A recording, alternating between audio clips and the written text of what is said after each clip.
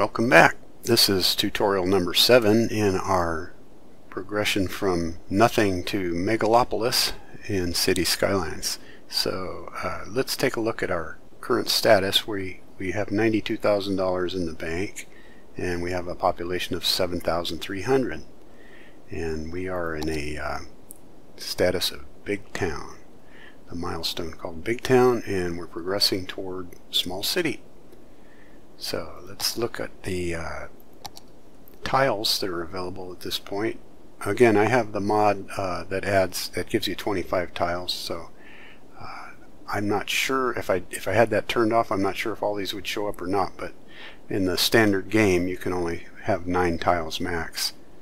But let's see what happens now if we buy this one because we have these three and we would like to you know make this an even square and that tile now costs 9,500. As I mentioned earlier, as you go on in the game, the further you go, the more expensive it is to buy these tiles. But we have enough money to at least buy this one, so let's go ahead and get it. And now there's no more available at this point anyway. Even if we wanted to spend the money, we couldn't until we have more population. So let's go back to our city and check things out. We have a couple of uh, uh, abandoned buildings that I'll just delete. And by the way, I turned the sound back on just because sometimes it is kind of nice to hear these effects. Although I'm not so crazy about the dogs barking, but I have neighbors that do that. let's see here. We'll check our water situation. It's good. Our sewage treatment's getting a little low in, in capability, but it will be okay for now. And our electricity, it's in the yellow, so we better do something more about electrical generation. Let's see what's available here. Again, coal power plant, which we've used in advance, and we used one of those. The oil power plant is uh, kind of messy, a lot of noise pollution and such, and I don't think we want to use that at this point. Geothermal would be great, but it's $65,000 and I have 83 now remaining, so I think I'll wait on that one also. I think we're going to go ahead and put another advanced coal power plant in at this point. So let's go ahead and do that. We want it in this area, industrial area, so that it doesn't pollute near our uh, residences. I think right in here looks good. I want to continue that, that road that you see there, so I'm going to put it on this side of that road, probably along the same road as the others are. One, one tile up. Okay, and um, let's go ahead and start the simulation, and we'll watch the power availability pop up up here. There it is. Okay, we're in good shape now for a little bit on the power. Let's see what else we need pause again and see how we are with education. Our, we're good with elementary. We've got uh, way up in the green. High school, mm, we could use another high school. So let's put another high school somewhere. How much do they cost? 24. You know what? I'm going to wait just a little bit. It won't hurt to be down in the red for a little bit. And we don't have any universities yet. I think we need to start thinking about public transit. So Let's take a look at our traffic situation at this point. A little bit of red developing, heavy traffic up in here. So I think we need to start some public transit and we have a few things available at this point. We have the, the bus lines which we could do. Maybe I'll, I'll do a little bit of that. The metro is now available. I really like the metro because of a couple of things that really can handle a lot of people and if you use the underground it doesn't require a lot of overground you know, above ground space although I like to do some above ground so you can see the trains going by. Uh, let's do a bus line at this point. I believe we need to start with a bus depot and we have a choice of a biofuel for 40,000 or a just standard for 30 and in order to create the bus lines we're going to need a bus depot somewhere so probably want it in an area that's going to handle that traffic of the buses departing and coming back in. I think we'll put it over here if we can. Yeah, along this uh, four-lane highway. Okay, we have a bus depot now. So the next step then would be to start creating some bus lines. I'm going to back off here for a second and think about where we want a bus line. Definitely want to take workers from our residential area up to our commercial zones and to our uh, industrial. So let's start a bus line somewhere down in our residential, I think. Back to this. Okay, bus line. Click on that and see how we start a bus line now. I actually forget how to do this because I don't use bus lines very much. Okay, yeah, we have a little dot showing. We'll start right near our bus depot. And then uh, immediately it wants to uh, make a... It has to be a, a route that uh, is in a circle, basically, or, you know, continuous. I think we'll go along here, take a stop there on that road, and go through the roundabout and head off into our residential zone. We'll add a stop there. I think we're in residential. Hold on a sec. Uh, yeah. Uh, we'll add a stop here. Actually, these are commercial. This is a commercial zone. Uh, we'll go on through our commercial zone. I'm going to back off so I can see kind of a bigger picture. Let's do a stop over here in residential. Makes our citizens happy to see those coming in. We don't need them in every block. Oops, I'm going to add a stop. Oop, no, let's continue the line first. Add a stop here, here, here, here, and let's go back to our first stop and complete this line. Okay, so we have one bus line. At this point, that's probably, well, let's do one that connects this line to the industrial. So our um, citizens can go from this stop up into our industrial zone. Let's just add one right there. A little hard to control this, uh, where the mouse goes, but you kind of get the hang of it as you do it. Do a few stops up in the uh, center of our industrial zone. Just kind of get them in the neighborhood. They don't mind walking. Uh, citizens actually can walk quite a long ways without complaint, which is good and healthy.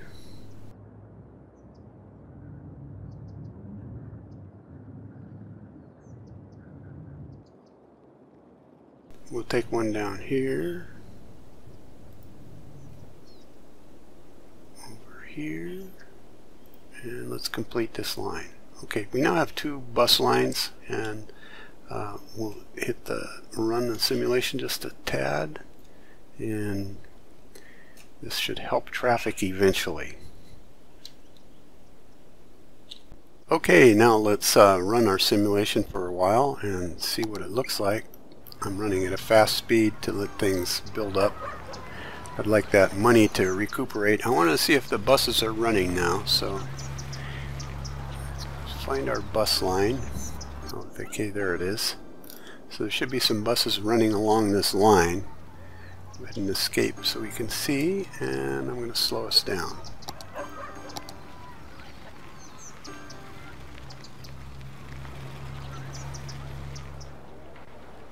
This is our bus terminal, I believe. No, it's police station. I forgot where I put the bus terminal. Here it is. okay, yeah. These are buses lining up, waiting to go. We can check our line details here. So it looks like uh, we have uh, eight vehicles, eight buses going and the length of the line is uh, almost five kilometers and these are the stops and the number of passengers. So we only had one passenger so far, but it'll build up.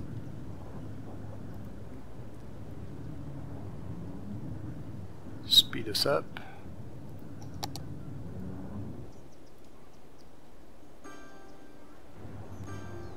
Here he goes off in off into the uh, industrial zone.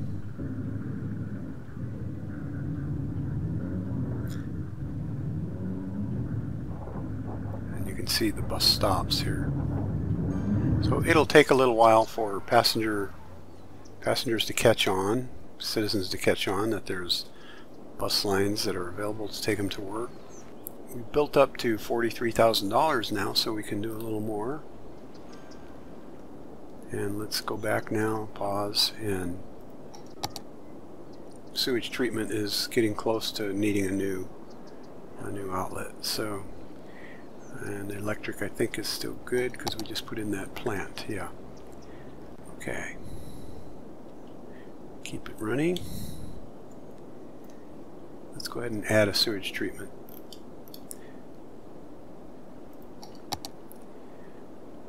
We still do not have the uh, water treatment plant. We have to reach a population of 32,000 for this, this really good water treatment plant that produces no pollution. But this is the second best thing, the Eco Water Outlet, so we'll put another one in. You can see it is still polluting. So it's not as good as the other plant, but we'll get there when our population gets up high enough.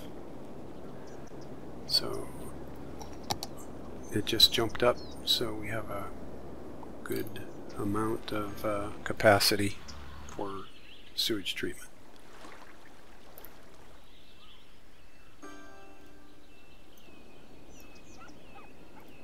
Let's check our overall uh, citizen happiness. It's improving since the last time I looked at this. I think it was down in here in the red, or in the pink area. And got a happy face, which is nice. Don't have any offices yet. Industrial is happy. And our demand is going up again, so we need some more residential. We'll put some more roads in and uh, then build some residential. I'll probably speed this up so you don't have to watch every bit of road building.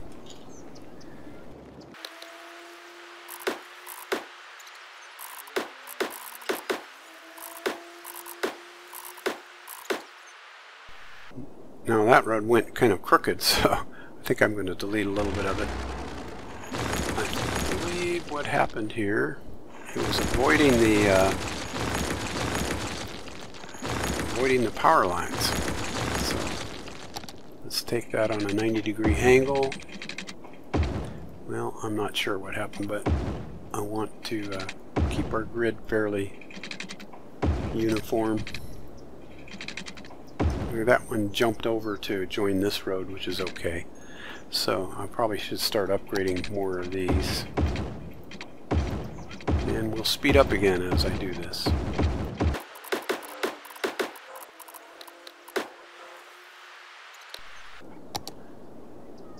Okay, now uh, I want to mention that we have high density residential available at this point. So I think we should start utilizing that and we'll start over in this area I think. By the river. Be a nice pleasant place for some high density housing. Eventually when we have uh, more territory over on the other side of the river we'll want to build a bridge across but we don't have that available quite yet. Okay I'm going to speed us up again and we'll build some more zoning and let's run the simulation also.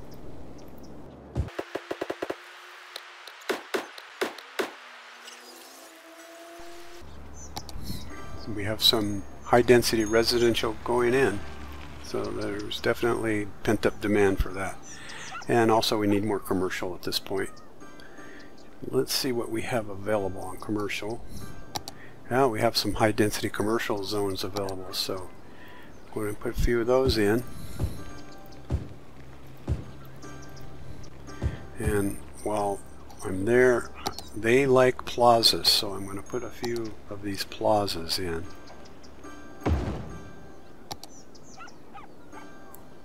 So if you think about it, if you're in a commercial district and you have a, a little place to take a break and maybe have a little, even a picnic or something while you're doing your shopping, citizens really like that.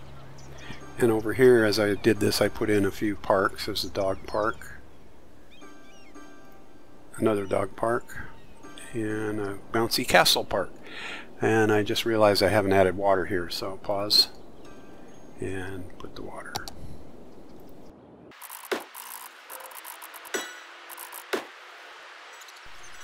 asking for some more industry.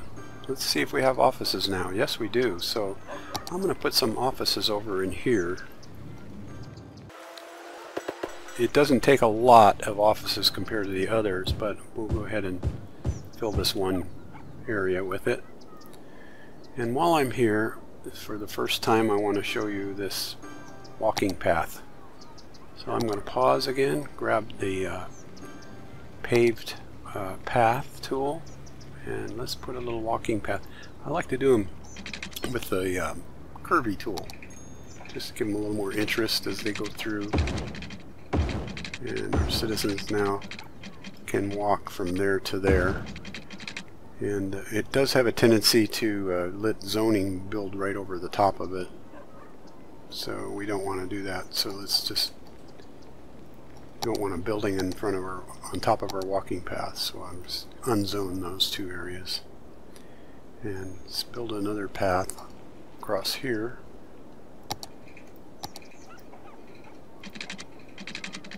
Through our residential zone. And uh, blow away the zoning right there. Now our citizens can uh, get from get to these two areas without uh, having to walk in the street sidewalk area. One more.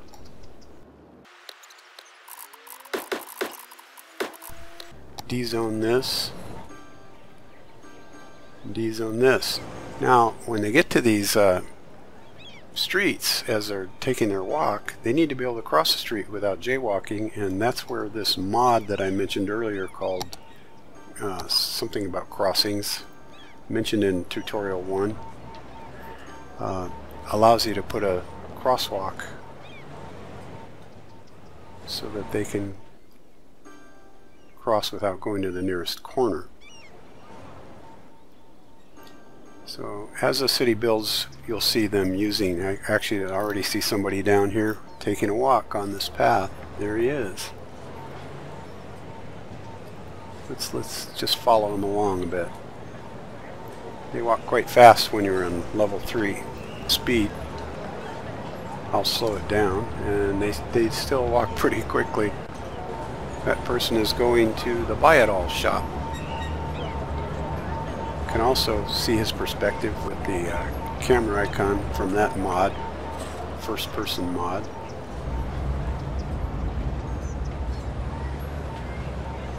Walked right through that person there.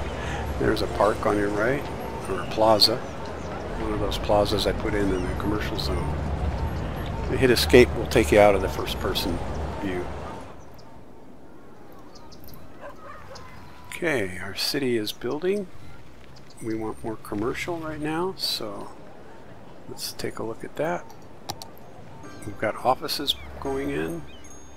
Let's, let's put some more commercial up here near the uh, industrial zone. And at this point, uh, we might have to reroute our uh, electric line here. But uh, I'm going to ahead and select the uh, fill tool.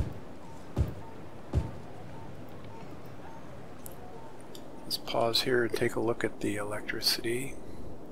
Now, since it's getting electricity all the way up to here, what I'm going to do is go back and just run a short power line, comparatively short, down the uh, near the river and over to this area. And that will tie everything into these uh, sewage treatment plants. Now I can blow away these lines that go all the way across. They're no longer necessary and they kind of interfere with your zoning.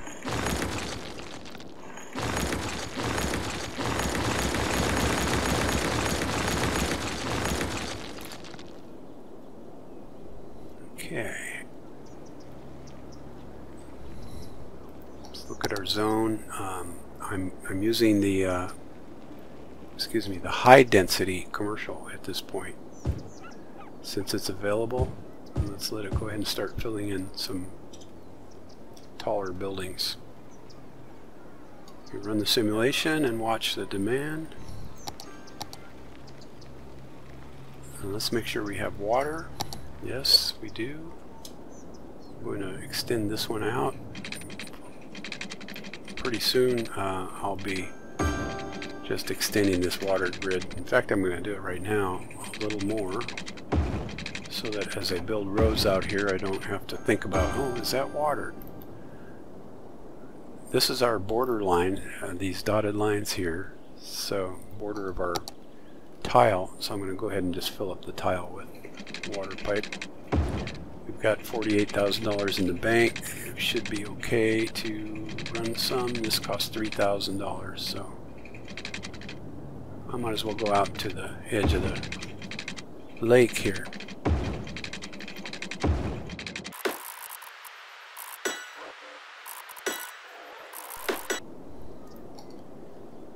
It's filling up our high density commercial now.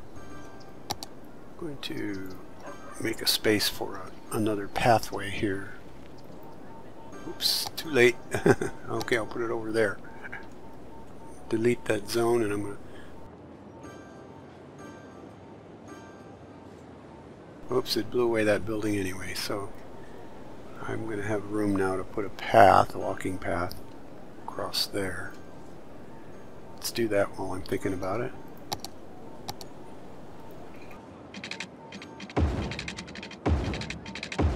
Zoom in, go over here. We just achieved small city. How about that? Before I end this, I want to just finish this little path so I don't forget it later. Okay, so we have the walking path there and there. Pause my simulation. I'm going to upgrade this road at this point so that it's in good shape. I don't use trees right along the industrial zone because all, all that happens is the trees die off so because industry pollutes.